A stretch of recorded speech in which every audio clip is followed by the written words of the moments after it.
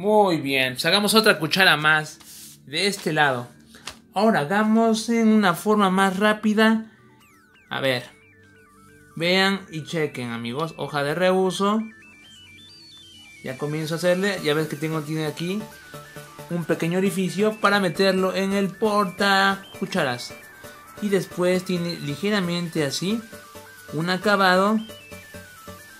Ahí tienes. Cuchara. Normal en un corto rapidísimo por de ellos.